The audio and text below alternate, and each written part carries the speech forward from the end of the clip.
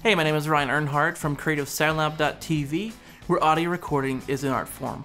Well, and I've seen this done for, for years and years, and you know, people with really nice rooms are putting absorption behind a vocalist. You know, I'm not really sure if that's the best thing that that we all should do. Uh, maybe if you have a really great room, that works.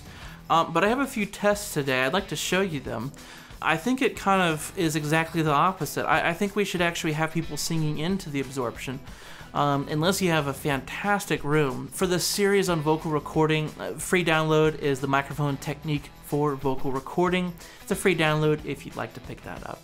So let's check out these demos. I have a massive packing blanket hanging from a massive mic stand, and we're gonna do uh, basically, um, you know, without uh, the packing blanket, uh, with the packing blanket in front of the mic, and with it behind the mic. So a couple different arrangements for you. Check this out. No point in looking back.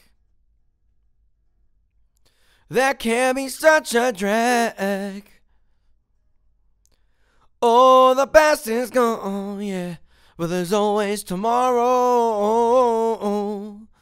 Oh, well, there's always tomorrow. No, no, no, no, no.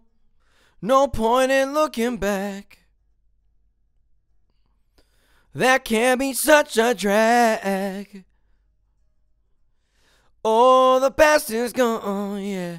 But there's always tomorrow. Oh, well, there's always tomorrow. No, no, no, no, no. No point in looking back. That can be such a drag.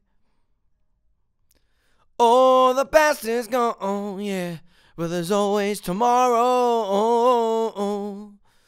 Oh, well, there's always tomorrow. Okay, so I think uh, you know I pretty much gave it away. I think you know singing into a blanket. Go ahead and just kill the sound right at the source, right behind the mic. Um, I mean, to me that makes the most sense. Maybe if you have a million dollar room and you have this amazing studio, then it makes more sense to completely go scientific with this and say, well, you know, it's cardioid, so I should only have to block, you know, in front of the mic, and so therefore the blanket is behind the vocalist. Um, so maybe it does work, but not in my studio. In my studio here, it seems to be like it's drier when the vocalist is just singing right into that absorption. So, I don't know, let me know your thoughts on this. I'll be hanging out, comments below.